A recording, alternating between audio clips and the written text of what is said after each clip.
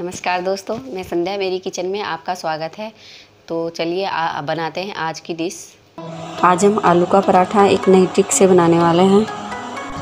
तो हम आलू उबलने के लिए रख देते हैं। आलू अगर आप इस तरीके से उबालेंगे तो आपके आलू के अंदर पानी नहीं भरेगा और आलू फटेंगे भी नहीं। तो क्या, पहले एक छलनी रख लें उसमें और फिर आप अपने आलू रखें। पानी उसमें थोड़ा ही डालें। इस तरीके से आलू को उबालें।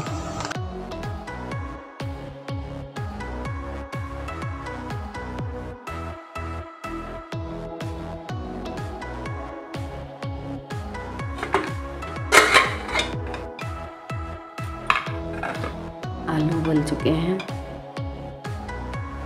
और मैं आलू पराठा बना रही हूँ, उसके लिए मैंने दो कटोरी आटा लिया है। उसमें मैं आधा चम्मच नमक डाल देती हूँ और थोड़ी सी अजवाइन डाल देते हैं। वन फोर चम्मच से भी कम, छोटे वाले। और थोड़ा सा इसमें देसी घी, एक चम्मच मोयन के लिए। रिफाइंड ऑयल भी आप डाल सकते हैं। थोड़ी सी मैं कसूरी मेथी डाल रही हूँ।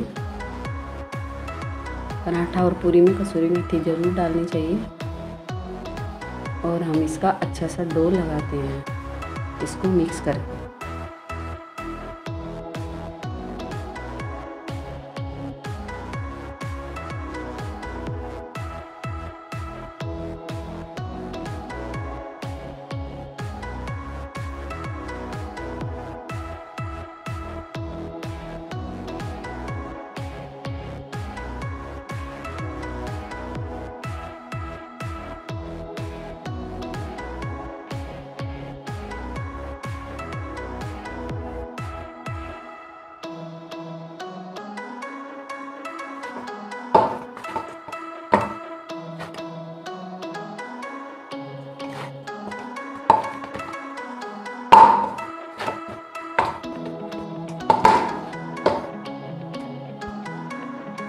मेरा आटा बन करके तैयार है। दस मिनट के लिए मैं इसे रख देती हूँ।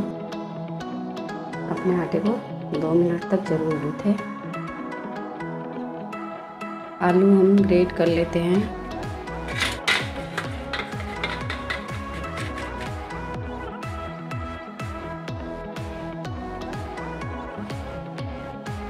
एक आलू उबल चुके हैं। एक छोटी चम्मच हम इसमें नमक डालेंगे।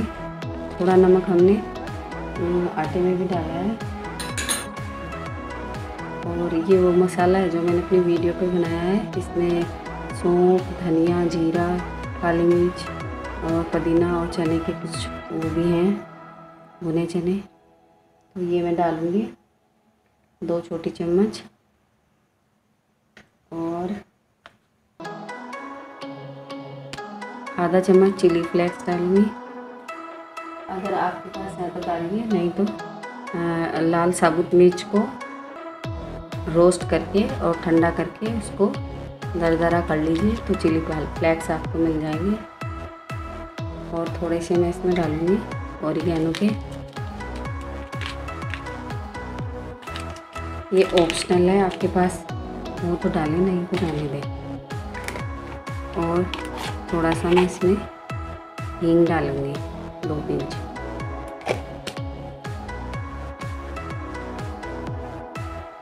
और इसको मैं टमाटर के पाउडर से बना रही हूँ।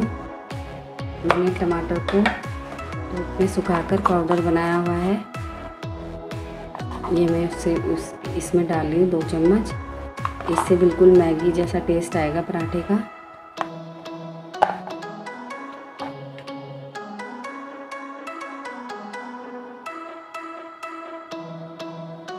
इसमें मैं डाल देती हूँ कटी हुई बारीक प्याज, एक हरी मिर्च। हरा धनिया। इसको मिक्स कर लेते हैं।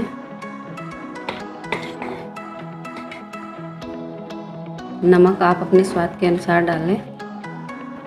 और टमाटर से बना पराठा बहुत ही टेस्टी लगता है। बिल्कुल मैगी जैसा इसका टेस्ट आता है। अगर आपके पास टमाटर नहीं है सूखा पाउडर नहीं है तो मेरी वीडियो देखकर बना बना सकते हैं। अगर आप भी टमाटर का पाउडर बनाना चाहते हैं तो मैं आपको डिस्क्रिप्शन बॉक्स में लिंक भेज दूँगी। और अगर नहीं बना सकते हैं तो आप टमाटर को कद्दूकस करके और थोड़ा सा फ्राई करके उसको अपने आटे के अंदर आलू के साथ गूँथ लीजिए। ऐसे भी आप टमाटर का पराठा बना सकते हैं। आटा हमारा तैयार है। अब हम पराठे बनाने शुरू कर देते हैं। और उसके लिए हमें प्लाथन, हमने प्लाथन लिया है। जिससे हम लोई पे आटा लगाकर रोटी बनाएँगे। इसको हम अलग बर्तन में लेंगे और इसको अलग ही रखना है। नहीं तो इसमें रोटी का मॉइस्चर आ जाता है, आटे का मॉइस्चर आ जाता है। और उसकी वजह से जब हम इसे पूरी ड्रमिया में डाल देते हैं तो हमारा पूरे ड्रम का आटा ख़राब हो जाता है। उसमें कीड़े लगने लग जाते हैं। तो इसे आप अलग ही रखें। आप चाहें तो इसे गाय की रोटी बना सकते हैं अगले दिन।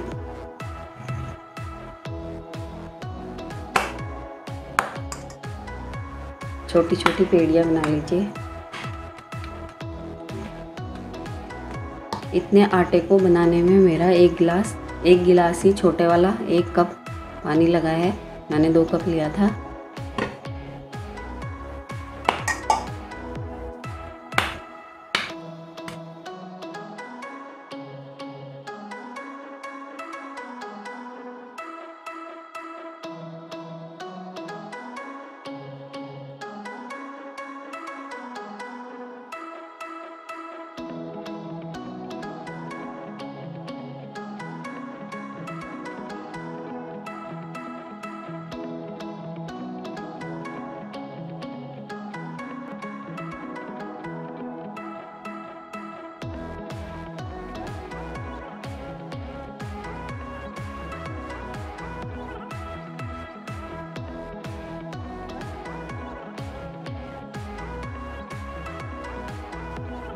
ये पराठा बिल चुका है। अब हमारा तवा गरम हो चुका है। हम पराठा बनाते हैं। पराठा मैंने तवे पे डाल दिया है। तवा अच्छा गरम होना चाहिए।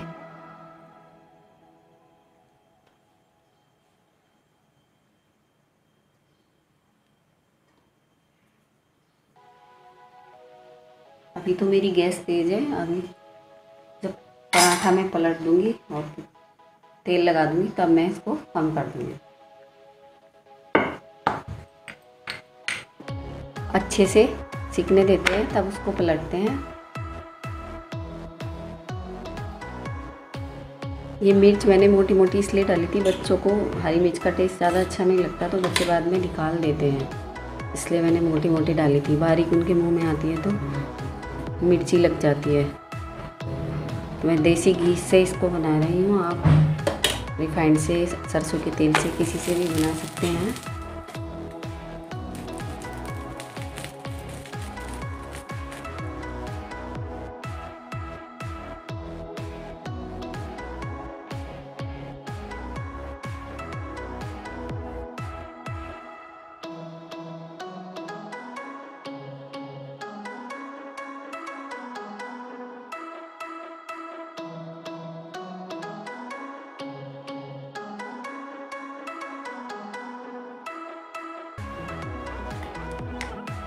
इसमें हम डाल रहे थे थोड़ा सा काला नमक और चुपटी पर जीरा पाउडर।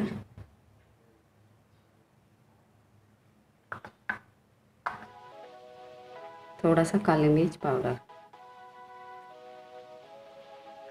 और पराठा बन करके तैयार है। आप भी इस तरीके से टमाटर का पराठा, टमाटर और आलू को मिक्स करके पराठा बना सकते हैं।